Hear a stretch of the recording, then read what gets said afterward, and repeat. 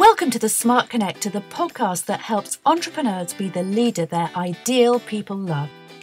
Build your influence, wealth, and success, attract others for all the right reasons, and become a smart connector, the architect of your amazing business and life.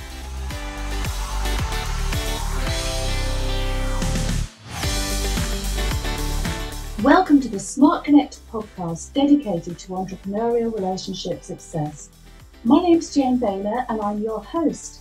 Today I'm so excited to be interviewing the fabulous Riaz Kanani. Riaz has a history of building and scaling successful businesses. He created one of the largest video advertising networks, building data centric marketing campaigns before exiting to Silverpop, which he then scaled internationally. Silverpop helped to set out best practice for B2B marketing a decade ago and was a leader in B2B marketing automation and content marketing before exiting to IBM.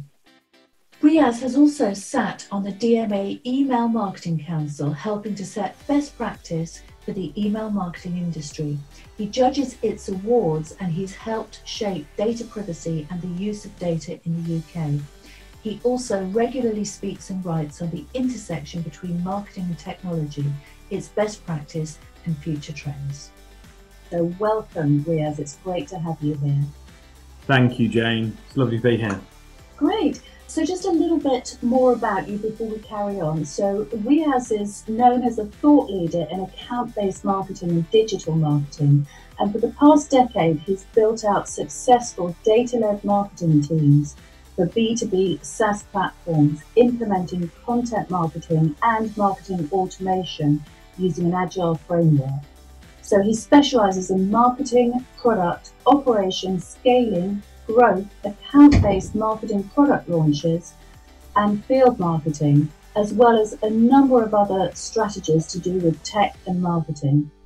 So Riaz launched and sold his marketing tech startup Digital Oxygen to Silverpop, which is now IBM, and he built the go-to market strategy of a data science consultancy. He also grew a global cloud video advertising platform, delivering multiple billions of video streams per month, and successfully built out the international marketing services and partner groups at Silverpop to create one of Europe's largest marketing automation platforms.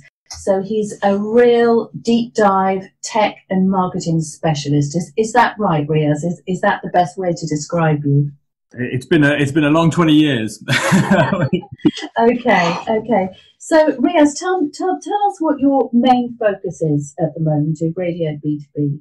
I guess two or three years ago, I was talking to a large number of B two B marketing directors and, and really seeing the same problems occurring across the industry, really, which was everybody was creating large amounts of content. They were running events, they were tracking conversions on their website and, and generating marketing qualified leads for the pipeline. And yeah. everybody was doing the same thing. It became incredibly difficult to stand out. Yes. And, and worse, because there was so much content out there, the buying experience was becoming more and more difficult and, and certainly not very friendly. And so we sat down and we started to look at how could we solve those issues. And, and first and foremost, what we saw was account-based marketing is this idea that you develop a marketing plan for every single account, every single company that you wish to win. Now, of course, for most companies, especially in the UK, that's incredibly expensive not economical at all. But with, and, and this is where my tech marketing background starts to come in, with the, with the data that we have available today and the ability to make decisions as nowadays seems to be called AI for everything, we can develop platforms that cut through the noise and in, you know, in, in our case, can deliver advertising direct to an individual company and is personalized to that company to to really cut through the noise. And then from there, basically rankings of companies that are in your target market yeah. that allow you to um, understand who you should talk to when. Okay, So, I mean, how does that manifest in terms of the customer experience?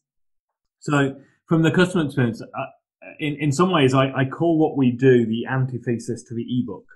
Okay. Um, the ebook is this idea that we'll throw together every single problem that a company can solve and yeah. deliver it to the buyer in this vain hope, I think, that they're going to spend the hours it takes to trawl through an ebook to find the exact bits of it that are suitable to that person or that company. Um, yes. And what we're doing is saying, well, actually, if you spend a small amount of time understanding different segments or certainly key prospects within your market, you know, and certainly you can make good guesses as to what the specific problems are likely to be.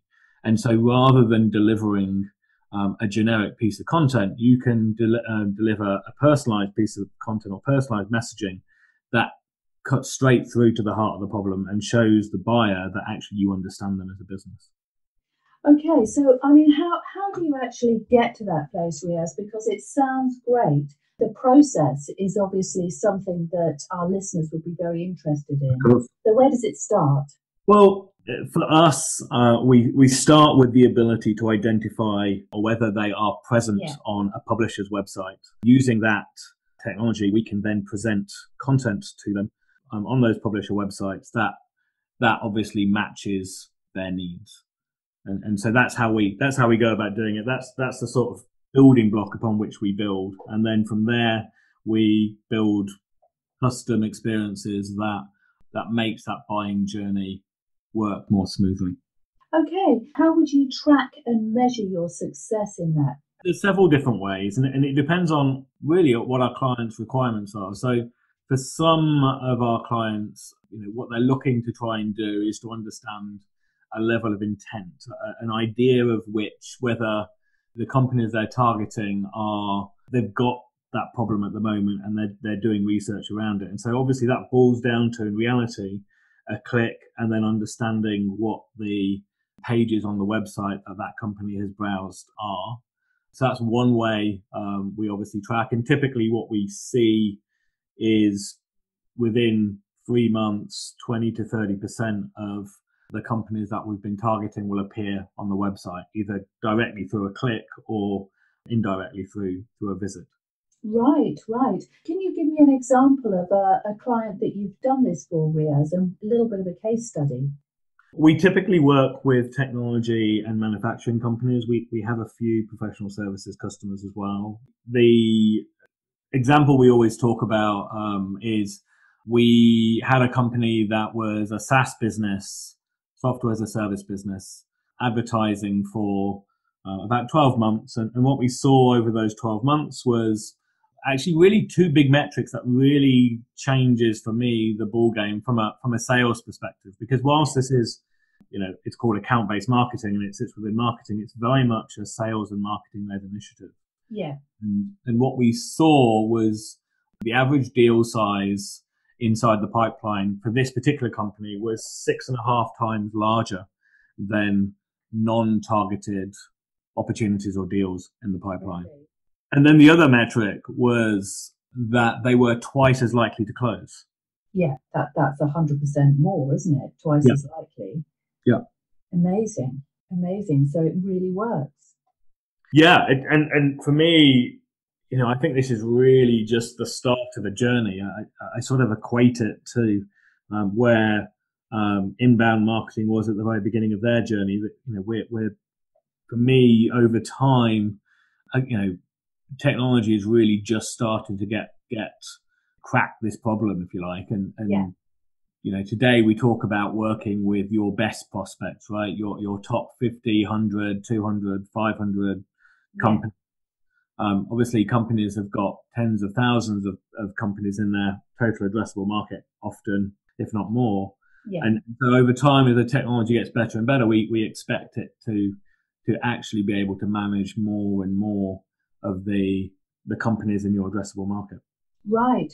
So what we're moving towards is more targeted and sophisticated and clearer messages going out to the right companies and the right people over time. Yeah, I think I think what's what we found really interesting is is that it changes the way marketers think about their market.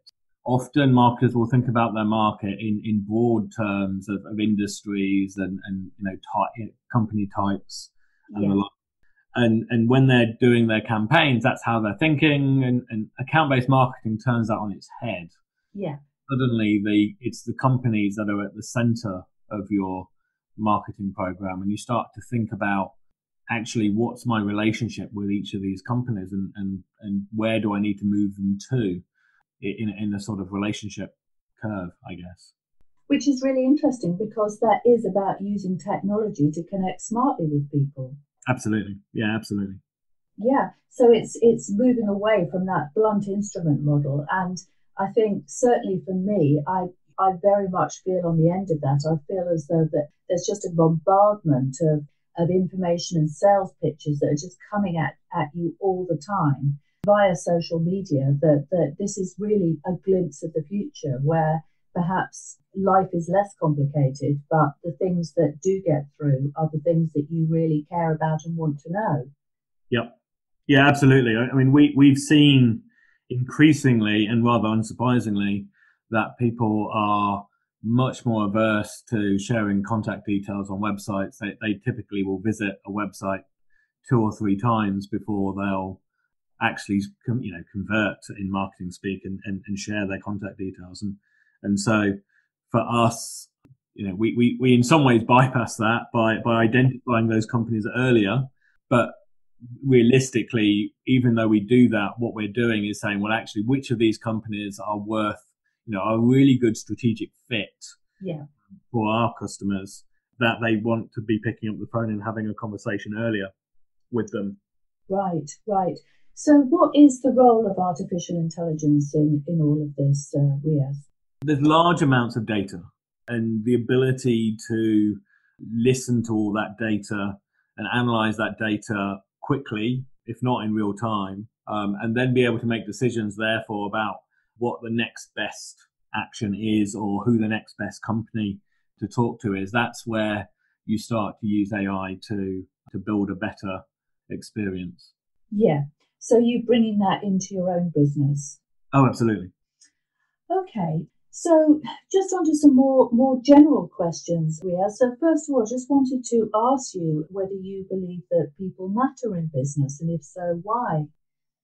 Yeah, I, I've built several businesses over the last 20 years and, uh, and mentored quite a lot as well. And, and across all of them, it, it doesn't matter how great the idea is or even how great, how big the industry is.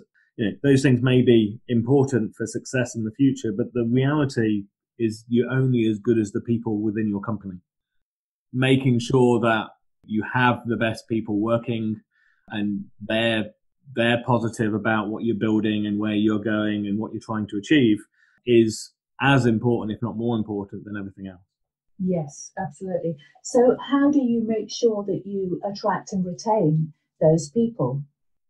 There's certainly some companies out there that will struggle, depending on that. You know, if their vision isn't isn't very um, exciting. In fact, we did a an accelerator uh, program recently. Yes. We asked it basically put groups of, of companies together and it, it, asked the question whether they found that company exciting or not. And, and, and really underlying that is this idea of, of, is your vision of the company something that is energizing yeah. to not just your, your, your teams and your, your staff, but also um, the wider audiences. And, and, and that's, that's part of it. You, you, you don't want to be, you know, if you're just building a tactical, you know, piece of infrastructure that it, it doesn't inspire or energize, then in reality, that that's the sort of people you're going to, you know, that's how people are going to feel. I guess is the right way of putting it.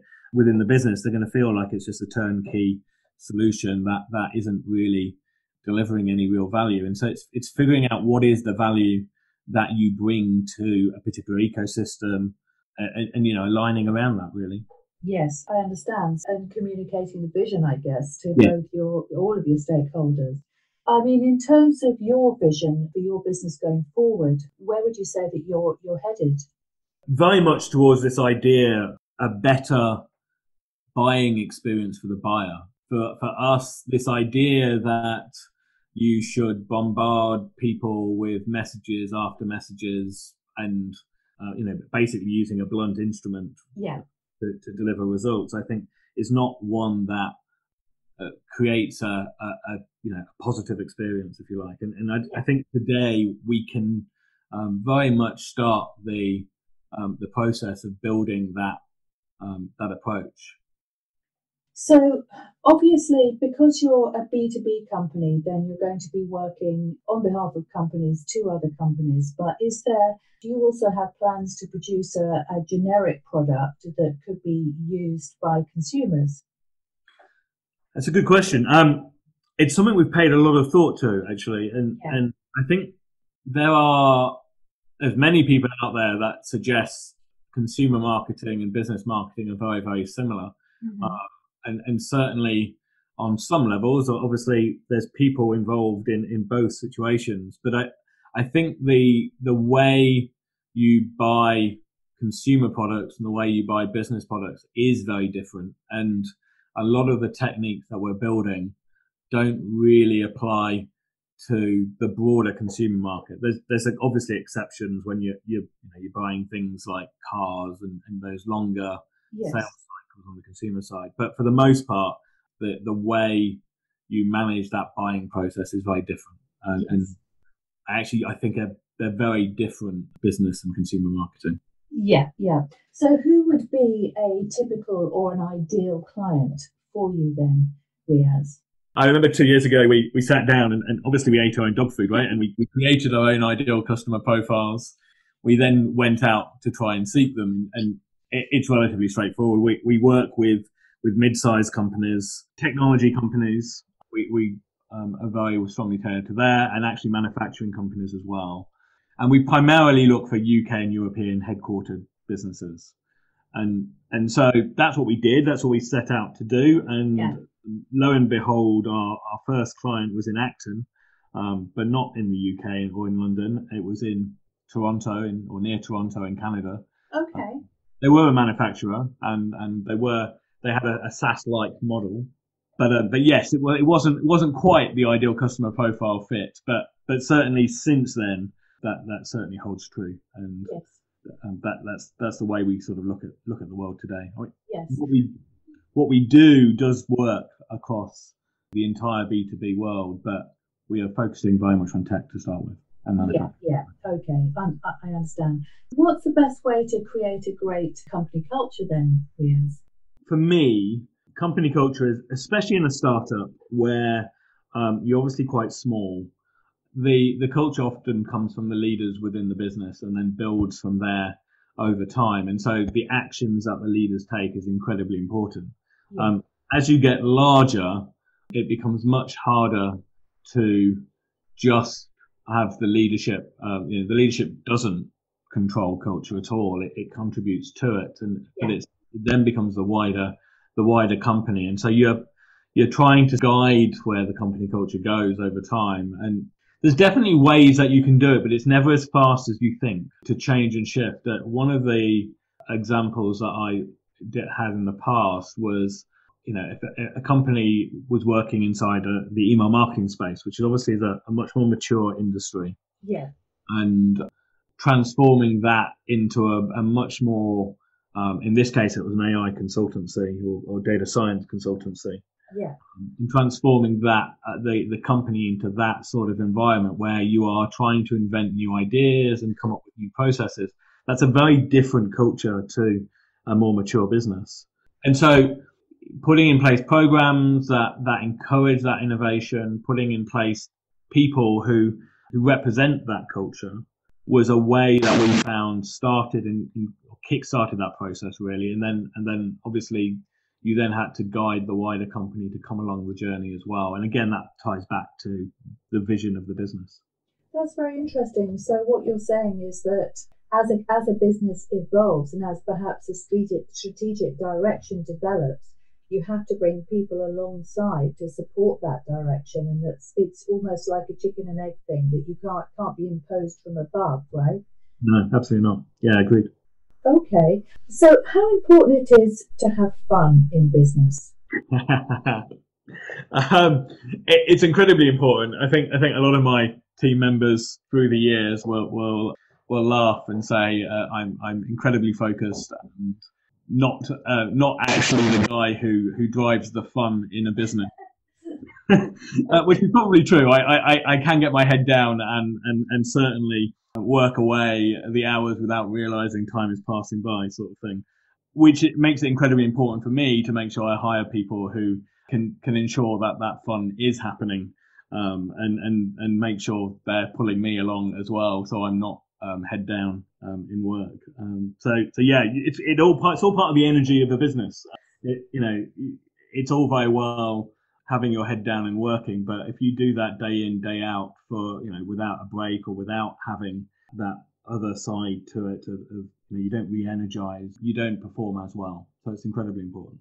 Yeah, that uh, that that's very interesting because I was actually talking to another entrepreneur about this, and what what he was saying is is that it's really important to play to your strengths and just be the person that you are and if you're very, very serious about your work and very driven, then your passion and your energy will bring other people along with you. But then you look for people who are different to complement the things that are not you. So do you look for fun loving individuals to provide that kind of sense of spirit of lightheartedness? Yeah, absolutely. You know, knowing where your gaps are as you know, especially in a in a in a smaller business, but you know, just as, as much in, in a in, in a medium sized business and a large business is you know knowing knowing the gaps, making sure you hire people who can provide those those missing areas is important. So, what are your core values, Riaz, and, and why do they matter so much to you? I always come back to one, and actually, we've I've used this a bunch of times over the years, um, and that's curiosity. Uh-huh. Or, or this idea of why. For me, the businesses I'm typically always trying to build are innov- innovative ones that are looking to push the boundary. Yeah. And that means you very rarely, in fact, never, you can't really look on, on the internet and look for best practice advice. You can't really um, just go and copy somebody else. You have to sit down and ask the questions that develops the next generation of best practice and, and develop what's next. And to do that, you need curiosity. Yeah, you need the ability to challenge assumptions, um, develop best practice, and, and really push those boundaries. Fantastic. That sounds great. So, can I just ask you, Riaz, are there any habits that annoy you in others? um, are there any habits that annoy me in others? I, I, think I think the ability to the ability to sit down and have a conversation and actually and actually express your opinion is important. And and so I, I think when people skirt around topics and and and don't say what needs to be said, that that certainly I, am not one for wasting time so so i can be quite direct sometimes. So i don't i don't like it when people are sort of wasting time and and something needs to be said let's let's have the conversation. And if yes. it's difficult then let's work through it. Right right. And i mean absolutely direct communications are pretty critical aren't they to business success as you said for two reasons. First of all you can waste a whole load of time if people are indirect and secondly you know, if you get straight to the point quickly, then you can make make progress and move on, can't you? Yeah, absolutely. Yeah. yeah. Brilliant. What What do you think is the best way to generate customer loyalty, Riaz? I think that's a really easy question, actually. Um, um, it's to remember that the customer is the reason why you're in business. Yeah. Um, if you put the customer at the center of things and and you know ensure that you communicate well with the customer and understand what their needs are, um, that goes a long way to having a loyal customer. Yes, it's about a dialogue, which which is one of the things that, that you're really um, refining, isn't it? Customer dialogue. And how do you use the information that, that comes back? I mean, it's obviously, you know, you'll be feeding back all the responses, won't you? And, and refining yes. your product. But do you have like a specific process for that? Yeah, we we have several. Um, I mean, we continuously talk to our customers um, and engage um, them in conversations around what they are seeing working, what their challenges are, and, and so on and so forth. So, so there's that organic information that's coming through. But then we also do at various points in time, we, we test different ideas that we have and, and, yeah. and obviously gauge responses and gauge an understanding of, of what our clients think. And, and um, you know, only this morning, actually, I was um, talking with one client around um, a new product integration we're, we're launching and, and you know, what they saw in the future around that integration. And, and people often think, yes, this is what we need, but actually, once you ask the question, um, it's not often quite as straightforward as that. There's there's nuances to it that can change the way you think about things and actually therefore build a much better platform as a result. Right. So, Riaz, what, what do you think is the biggest issue going forward in the business of, of tech and marketing? I think it's an interesting time in tech and marketing at, at the moment. The GDPR obviously came out uh, a couple of years ago and, and is starting to change the the way people think about privacy and data. Yeah. And uh, you know, despite having really built my entire career around um, data and behavior of, of people, uh, actually privacy is really important.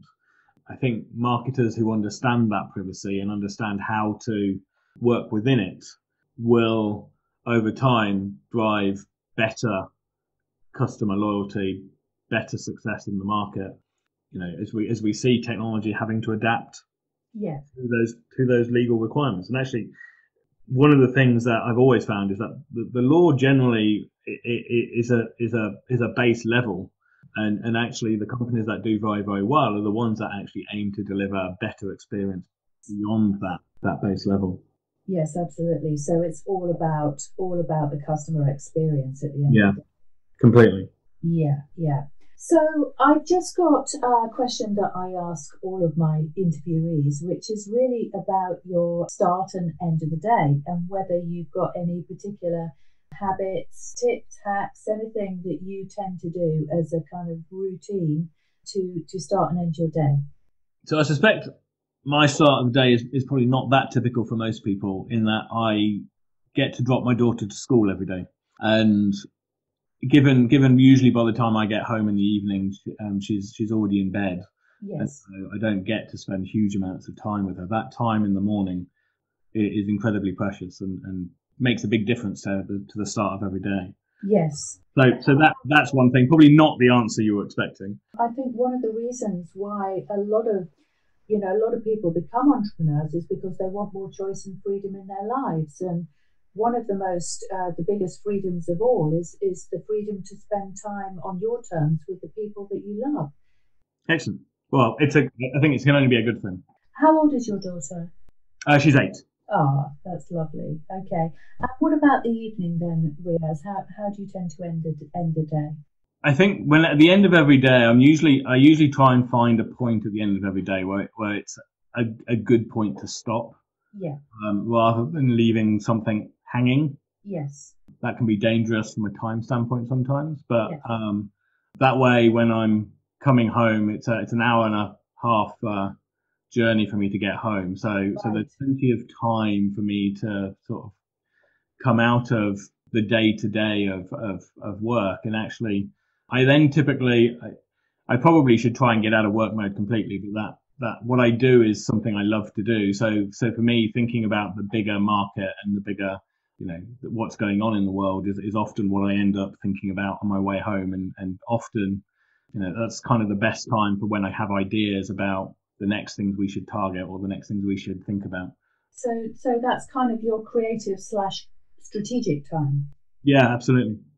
Excellent, excellent. All I wanted to say is how wonderful it's been to speak to you, Riaz, and how exciting your your business is and getting to grips with the future of tech and marketing and how it works in the B2B space is such an interesting thing to be doing, particularly at this time. So, thank you so much. It's been really, really great to interview you, and we'll look forward to hearing more from you as time goes on. That sounds great. Thank you, Jane. It's been wonderful talking to you. Thank you very much. Thanks for listening to the Smart Connector podcast. If you've enjoyed this episode, why not head over to janebayler.com and order a copy of my free report on building your personal brand? I'd love to connect with you on social media. And finally, don't forget to like and subscribe to my podcast so that you never miss a show. Thanks for listening in and see you soon.